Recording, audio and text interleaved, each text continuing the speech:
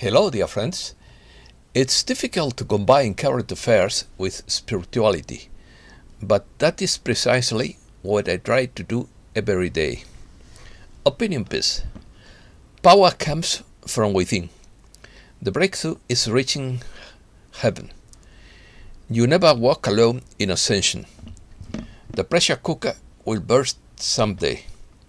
IMF warns of economic collapse. Operation Karma at breakneck speed. Your inner world projects your outer world. The market collapsed, but you don't know it yet. Inner calm is the superpower of angels. Enjoying the show doesn't mean doing nothing. Life gets in the way of the workers of the light. Major cryptocurrencies plummet in a matter of hours. US Congress avoids government shutdown against the clock. Let's start. From Within by James O'Brien. We find ourselves at a very peculiar crossroads moment in world history. One might call it biblical. Some of us are asking for overnight miracles to save us all. However, the power we are asking for comes from within. We might wish for the existence of an all powerful coalition that can do whatever it wants when it decides to pull the trigger. But then we are disappointed because we are waiting for this so for so long. So when someone like General Flynn said that the cavalry wouldn't come and cavalry wouldn't come and we would have to do it ourselves, this statement discouraged many who are looking for that white hat cavalry to come over the hill in the traditional fashion of the wars of the past that we have seen in Hollywood movies. Important things happen every day, and it is true that nothing can stop what is coming. However, it is coming down a different path that some might perceive. Yes, all of this is unfolding on the world stage. However, it is unfolding from within through the very characters of the, on the stage. And those characters are, of all, are all of us in the world, not just the famous. That is why nothing can stop what is coming. Every person in this world is either creating their own reality from within, or they are ceding this power to factions outside themselves. But in this accelerated historical moment, no one can escape the extrapolation of their inner realities to the outer canvas of, of the world, and karma is now accelerating. Accelerating karma from one perspective, the controlling team has this game summed up. Karma is flooding the stage for all to see. It is true that the old world order is running around trying to put their thumbs in the dike, but the old order is made up of real individuals. As they do this, their own destiny is moving away from them in this accelerated manifestation of karma. Things are accelerating beyond their ability to control. It is also beyond the coalition's ability to control. It's not my intention to suggest that there is not an active coalition, or that there are not many incredible technologies that will change the world.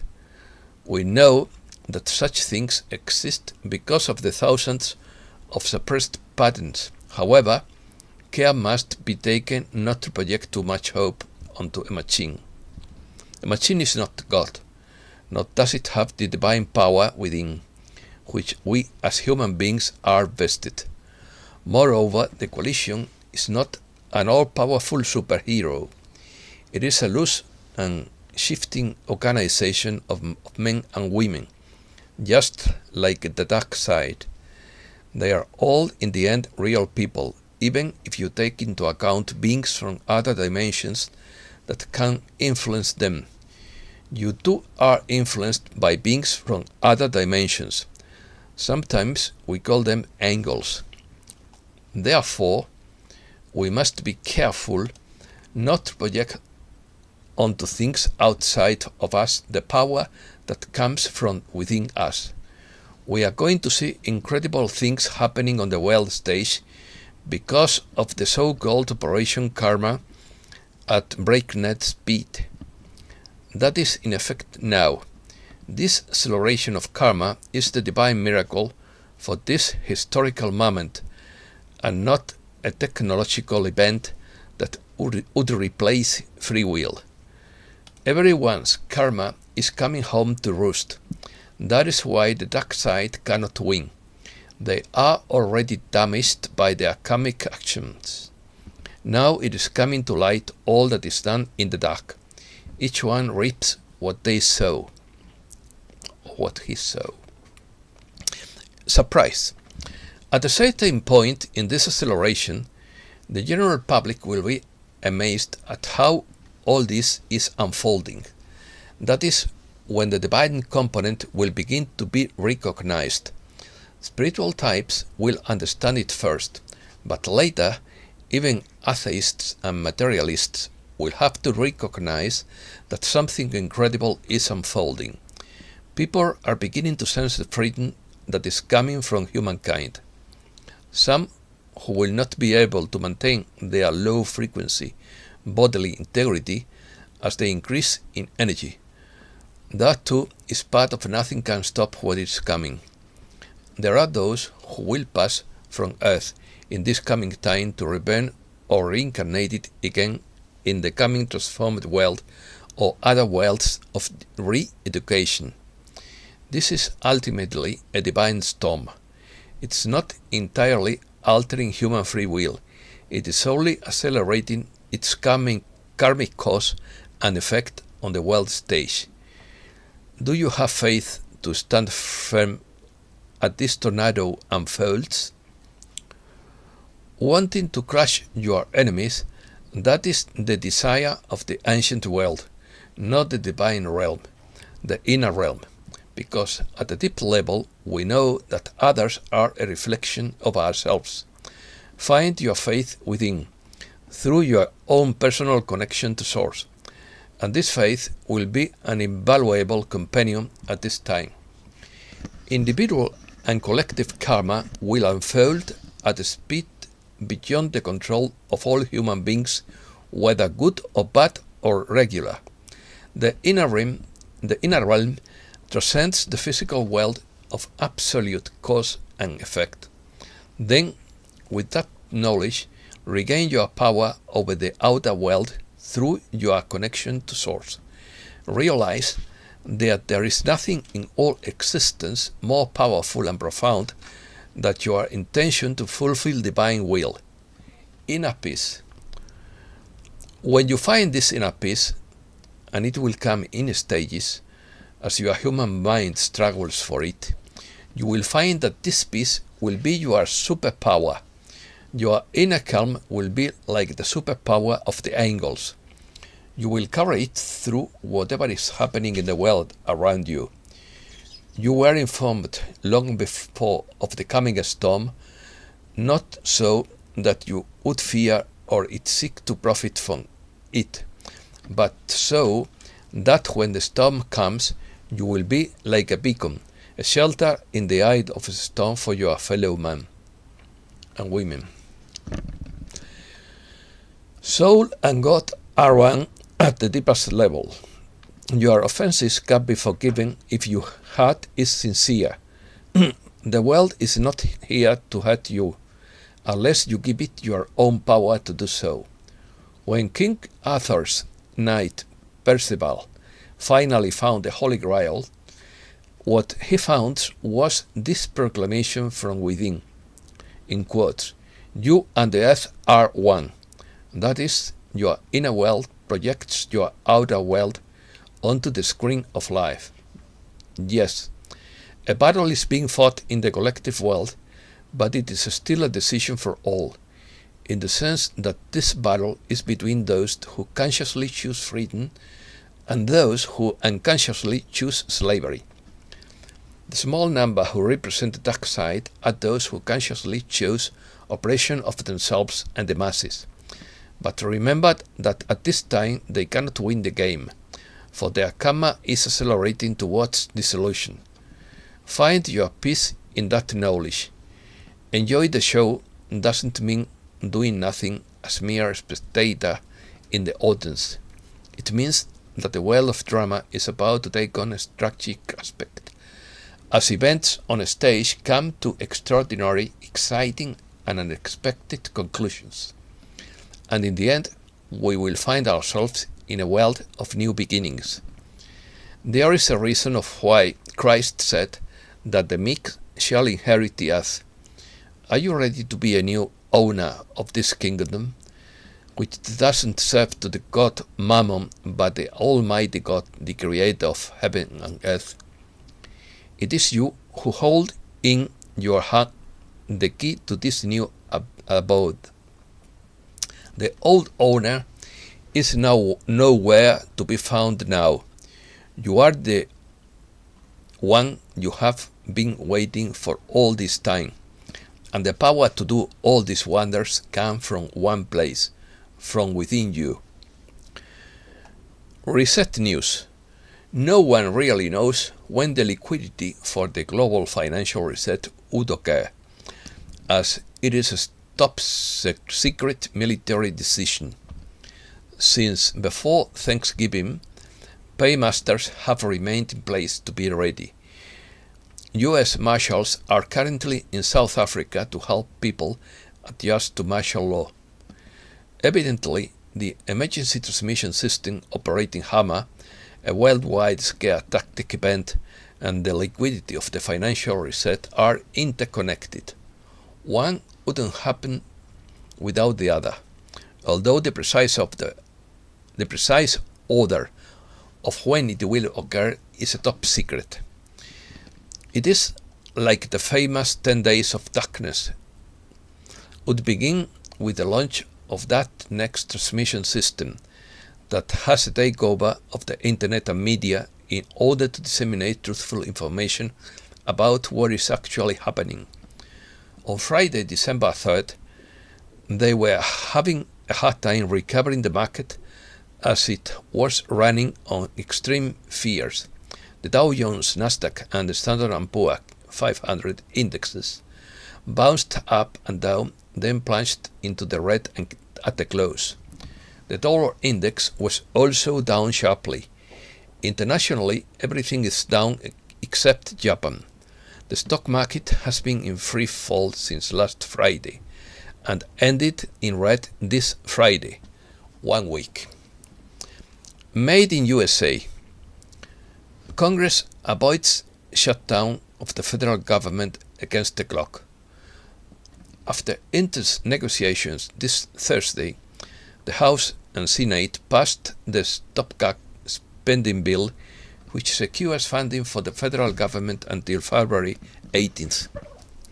US still buying Chinese technology despite ban. A new report reveals that despite federal ban, at least three government three government agencies are still buying thousands of dollars worth of Chinese technology. An investigation has been launched.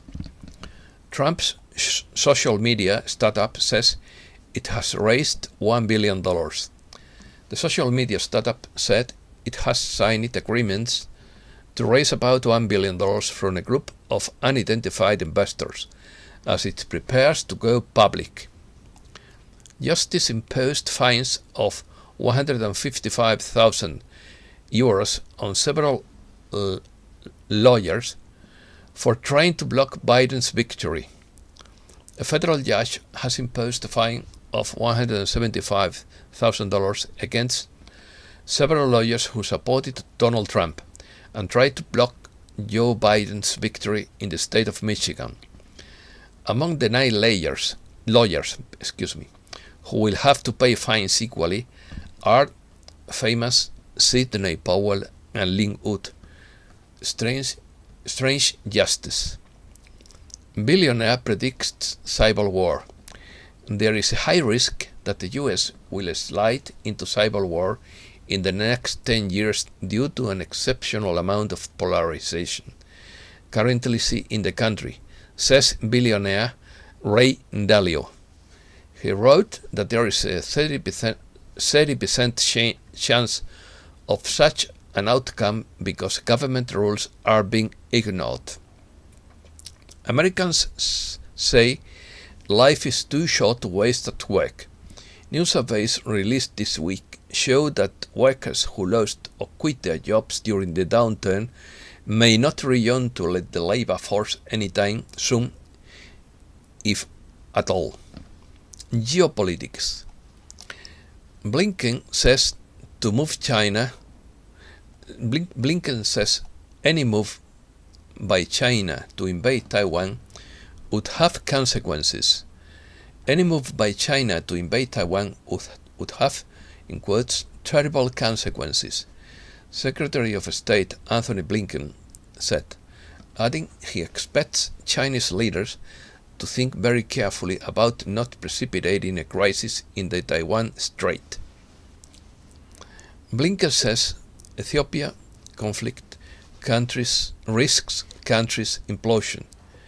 The US has sanctions at its disposal disposal to use against those perpetuating the conflict in Ethiopia, which is escalating ethnic tensions and risks the country's implosion. Blinken said, US bonds Russia planning military offensive against Ukraine in 2022. Intelligence services believe Russia plans to raise its military presence on the Ukrainian border of 175,000 troops with the potential aim of invading that country next year. China. Chinese government summons a Evergrande chief as debt mount. Chinese authorities summoned the founder of Evergrande, which is now on the verge of default, after the company announced Friday that it may not be able to pay its debt. The real estate developer received a demand under the $260 million guarantee obligation, which it may not be able to repay due to insufficient funds. The construction giant wants that there is no guarantee that it will be able to meet its financial obligations. The nine Chinese elders are composed of different multi generational Chinese families living in the Philippines, who for centuries owned and assumed responsibility for about 90% of the world's gold, lending it to countries to set up their financial systems. There were five main China's elders who were responsible for the financial reset and release of funds, but now these are nine negotiating. The BRICS is an alliance of the nations of Brazil, Russia, India, China, and South Africa, formed in 2008 after the US mortgage crisis. Actually, the crisis occurred when it continued to print fiat dollars while it was broke, and could not even pay interest on the gold borrowed by the Chinese elders that backed that dollar, which is the basis for international trade. Since the BRICS were formed, they evaluated the gold and resources of 209 nations in preparation for a global financial reset. After the reset, the currencies of all countries would be equal to each other instead of relying on the dollar. Iraq. The Iraqi dinar or dinar has a new rate. Iraq went international on Monday. When we see the rate, it will be above $11.9. Apparently, the IMF stopped Iraq on Monday from notifying the world of his new global rate. This now places Baghdad as the main trading center in the Middle East. The US is withdrawing the remaining 3,630 troops from Iraq as of Thursday night. December 2nd, so that Iraq can announce its sovereignty to the world. Pakistan received a $3 billion loan from Saudi Arabia on Saturday. In the budget of 2022, the governor of the Central Bank of Iraq, the Prime Minister Qasimi, has told Iraqi citizens that he has guarded, a guarded secret that was well studied. Qasimi is trying to tell the people of Iraq that there will be a surprise in the 2022 budget. There will be no change in the Iraqi dinar until Iraq has a new government. They pass laws and build a diverse economy in the private sector. Inflation. What would happen to inflation in 2022? Asks the Atlantis report. $30 billion in debt, massive deficits, and huge consumer debt, including mortgages. Raise the interest rate by 1% and you have a calamity. Inflation will remain at least in double digits. This, this emergency will end when the market, market correction, correction becomes too painful. I'll repeat the phrase. This emergency will end when the market correction becomes too painful. Central banks panic. The economy continues to deteriorate, the number of jobs is completely lost, and the economists, in plural, got it wrong again. The IMF says inflation is, is just hump, hump. I repeat it. The IMF says inflation is just a hump, but wants the Fed to raise rates and cut them to bring down the economy. Caught in their own plan, the dark side pushed their plan for the big Davos reset. They set everything in motion to have a controlled economic collapse, but now they are trapped in their own plan. Current news Stocks end lower on Fed angst. Wall Street's major indexes closed lower Friday with the Nasdaq leading the declines, as investors bet that the strong jobs report wouldn't, wouldn't slow the Fed's withdrawal of support. European stocks end bumpy week with losses. European stock fell Friday, hitting lows after plunge in US stocks on a technology slump and fears that the crisis will hit the economy, the economic recovery. Sterling falls as dollar strengthens.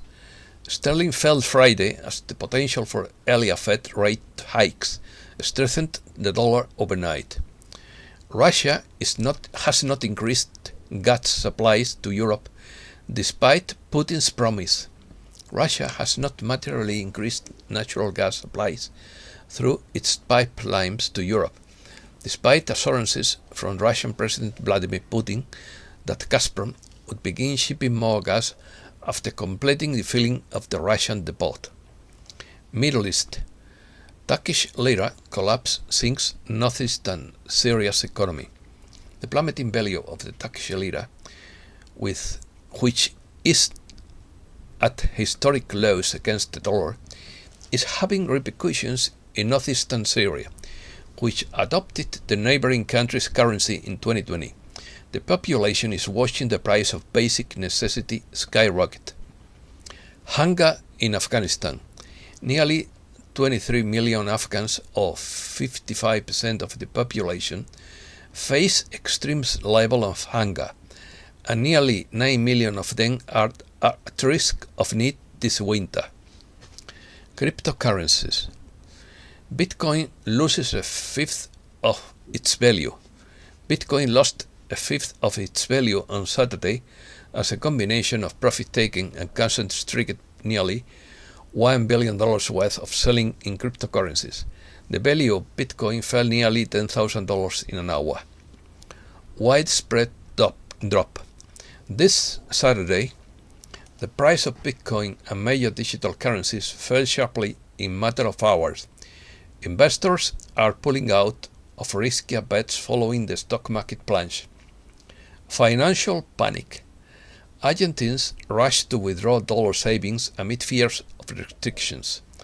Argentines Argentines are pulling dollars out of bank accounts at the fastest pace in 40 months amid speculation that the government would make it harder for savers to access their foreign currency. Goldman Sachs cuts growth forecast. Goldman Sachs on Saturday cut its outlook for US economic growth to 3.8% by 2022, citing risks and uncertainty surrounding the crisis. IMF calls for global debt restructuring. Private and sovereign creditors should speed up work on debt restructuring efforts for countries such as Chad, Zambia, and Ethiopia, and Ethiopia on risk discouraging countries that need help particip from participating International Monetary Fund Chief Kristalina Georgieva said. And that is all for today. Thanks a lot, dear friends.